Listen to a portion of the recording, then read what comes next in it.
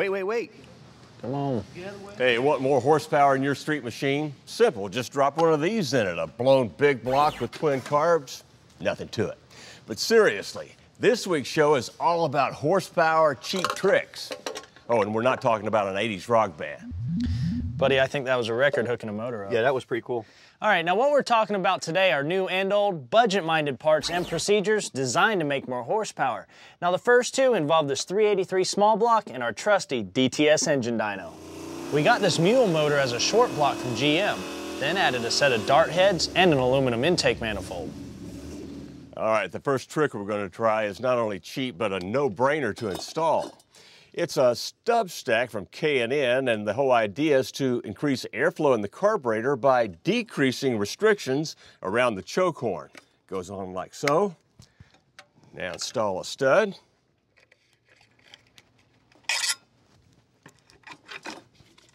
Okay, after the wing nut, we can fire this baby up and see what it does.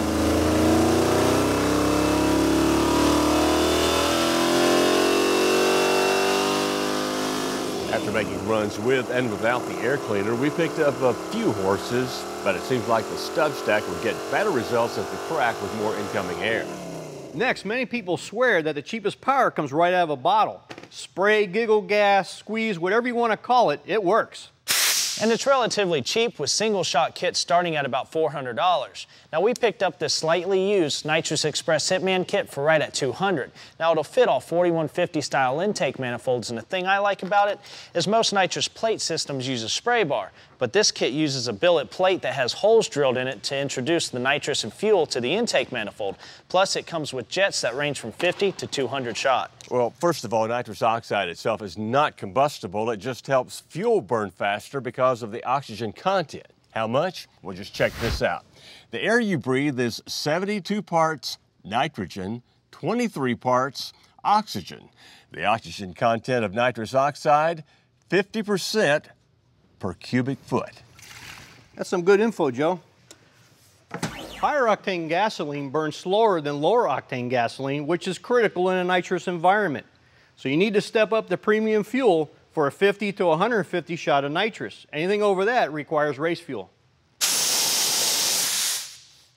Now they may call it laughing gas, but it's actually a liquid before it comes out of the bottle. And it creates a lot more cylinder pressure and stress on the rotating assembly. So it's a good idea to run a forged piston in a racing application, heavier duty connecting rod, even a forged crankshaft. Okay, what are the bottom line benefits for a weekend drag racer? Generally speaking, if your car runs 12 to 13 second ETs, a 100 horsepower shot of spray is good for a whole second off your time. Well, time for us to get busy and get to work on this kit. Now in the car, this nitrous bottle would probably be installed in the trunk in a safe place with this nozzle facing forward. Of course, the other end will go to our nitrous solenoid once we get it hooked up. Don't forget on your plate to make sure your holes on your spray bar are pointing down into the engine. Very good point. Got to ask you a question. What's your reaction when you hear those kids call this stuff NOS? Oh man, I just want to I can't say it on camera, but. I didn't think you could. well, now the carb can go back on.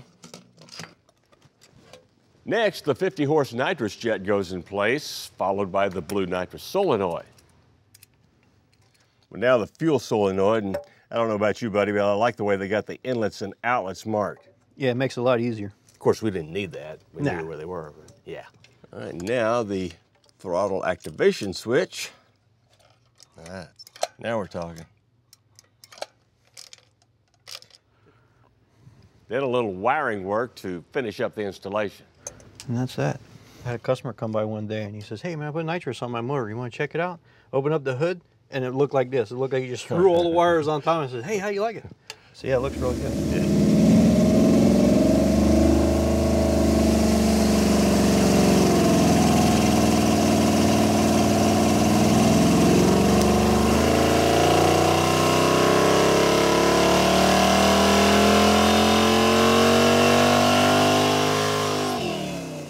Man, at 475 horsepower, that 50 shot of nitrous gave us 57 more. Torque is 498 foot-pounds, which is an increase of almost 90. Well, now that the motor's cooled off a little bit, we're going to turn our attention to something a lot of people ignore with their first nitrous experience, and that's the spark plugs. After your first blast down the track, you want to check each one for signs of detonation, and that would be little tiny black and green dots around the electrode. Ours look pretty good, so we can put them back and make another run. Our second run on the dyno is with jets good for 100 horsepower.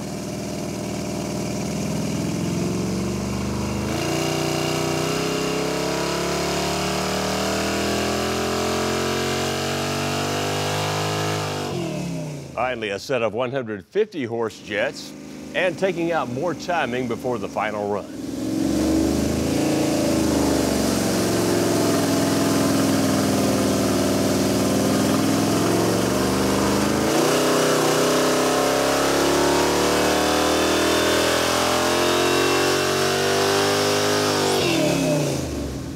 Now we're up to 560 horsepower and 625 foot-pounds of torque. And we're gonna go ahead and quit while we're ahead. See, we've been conservative on the timing because we wanna keep this motor around for more tech later on. Plus, our pistons are hyper-eutectic, not forged. Anyway, though, 140 horsepower of a baseline, 216 foot-pounds of torque. It's easy to see why a lot of people swear that the best bargain in power is good old nitrous, whether it's Nitrous Express or NOS, right? Oh, here we go with the dirty words again. I'm not going to make any more comments on that word. Okay.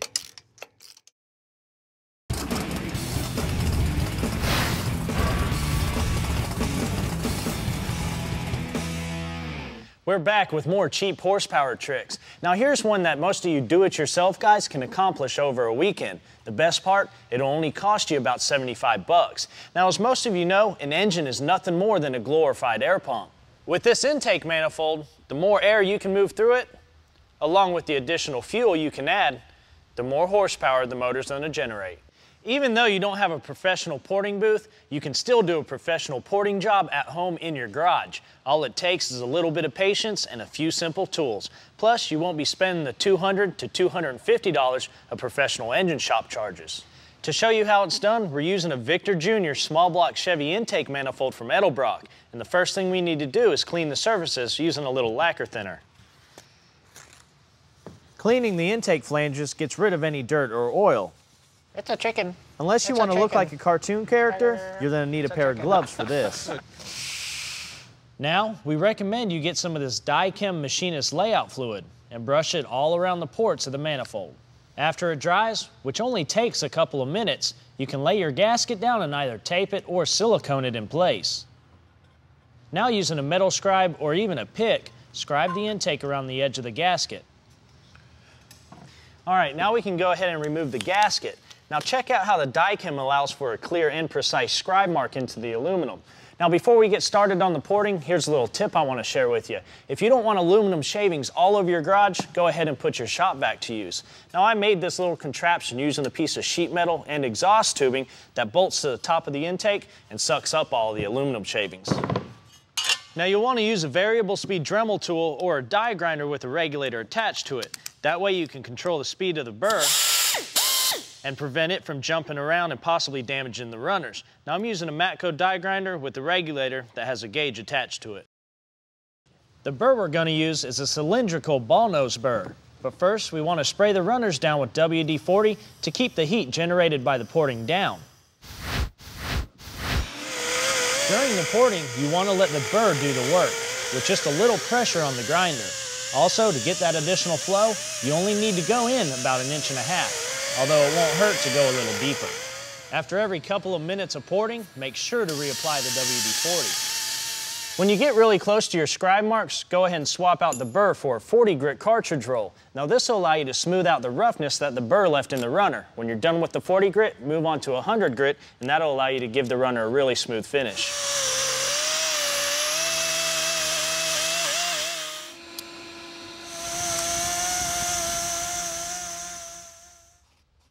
Well, that's it for the grinder and the tools. Now it's time to thoroughly clean out the intake manifold, and please take your time. The last thing you want are a bunch of aluminum shavings left in this thing that can get down into your engine. Now, if you don't have a parts washer at home, you can get this done with a pressure washer or even a garden hose. And to break up the WD-40, good old brake cleaner does the trick. After getting it clean, go ahead and spray it out with air or let it air dry.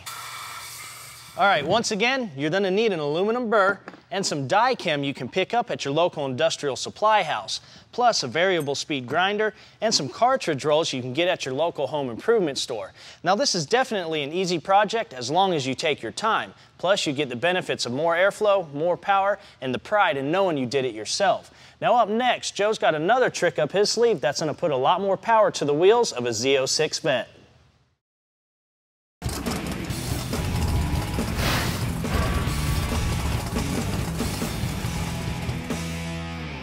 Hey, we're back in action and still on the hunt for more horsepower that won't cost you an arm and a leg. Now, by the way, this is where we keep all of our engines for upcoming projects. Now, carbureted engines have always been good candidates for power adders and they'll always be around for racers and hot rodders alike. But now let's take a look at how to make more power out of a more modern pushrod engine. In 1997, GM introduced the LS1. Now they started this design from a clean sheet of paper and what they ended up with was a 5.7 liter small block that made 350 horsepower at the flywheel. Now you could first find them in Vettes and that's what started a new age of high performance, high tech horsepower. We borrowed this LS7 powered Z06 that belongs to a buddy of ours down at Extreme Auto Accessories in Memphis. And we thought this little black beauty would be a perfect candidate for one of the most popular and easy to use power enhancers for late models, a power programmer. Now, this one from Hypertech is a max energy for the LS7. They claim power gains of up to 34 horsepower, 35 foot-pounds of torque, but first, we got to get it up on the dynojet for a baseline.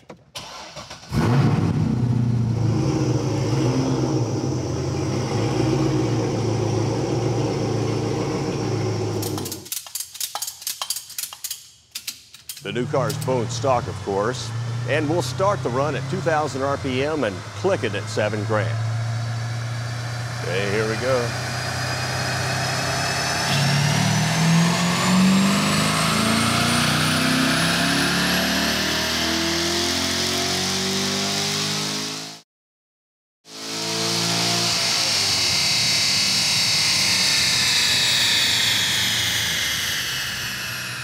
Okay, the car made 439 horsepower at the rear wheels, which is pretty much on the money, factoring the engine to chassis dyno differences.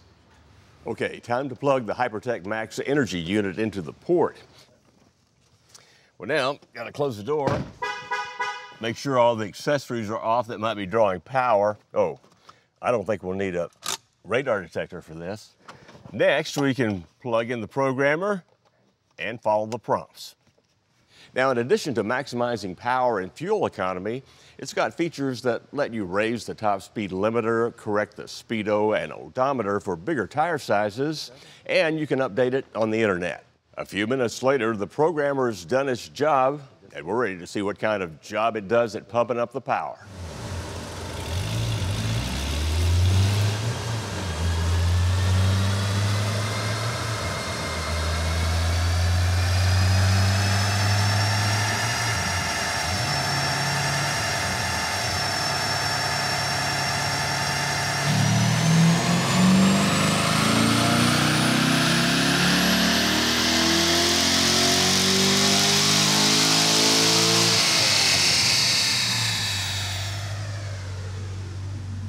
Right, check this out. With the Hypertech tune, we made 460 horsepower. Now it's a peak-to-peak -peak difference of 21. Now our max gain was up here at 7,000 RPM. That came in at 34 horsepower. Too bad we don't have time to check the fuel economy benefits of the programmer. That's important to everybody these days. Now these sell for 379 and for 50 bucks less you can get this E-CON version. Got the same power and fuel economy tuning without all the extras. Well, now it's time to crunch some numbers and see how much money we've spent. I'll have the grand total for you in just a minute.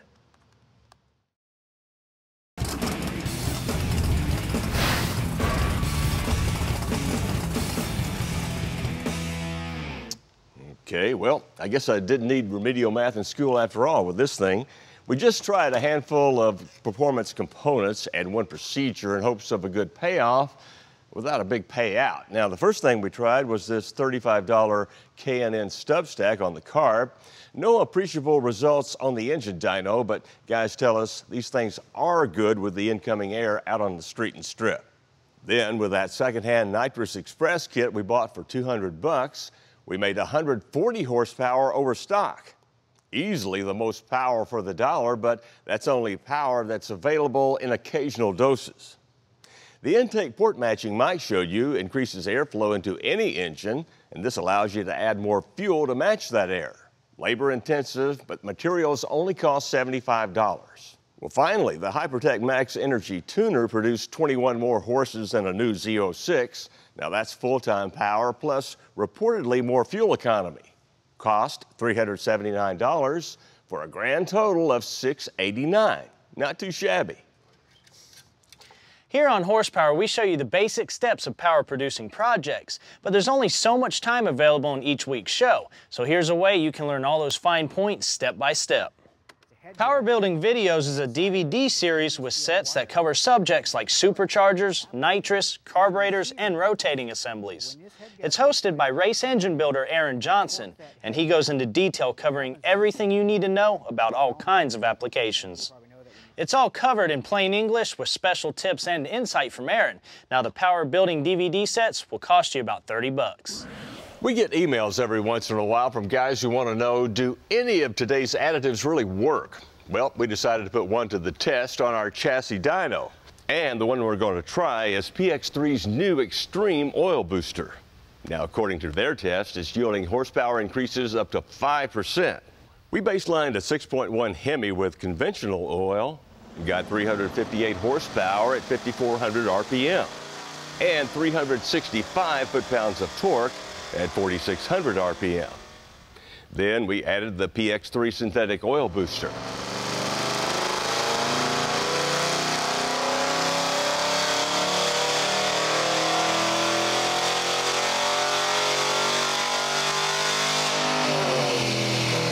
What the heck? Well, the numbers speak for themselves. 367 horsepower at 5,700 RPMs, 379 foot-pounds of torque at 4,600 RPM. Well, they say the dyno doesn't lie. That's right. Of course, they recommend that you add a bottle every other oil change. We don't have time, of course, to check out the other benefits, but hey, 9 horsepower, 14 foot-pounds of torque, I'll take that any day. Finally, a hot part that fits in perfect in what we've been doing today in the search for more horsepower and performance. Now, a while back, we saw some impressive results on the engine dyno using a Fitch fuel catalyst, but they also make these drop-in pellets that improve fuel economy, emissions, and horsepower. Now, they use a special metal alloy that refines fuel to its factory fresh state. You can get a box of eight and this installation tool for a little less than 120 bucks. Well, that's it for the show today. We hope to see you next time.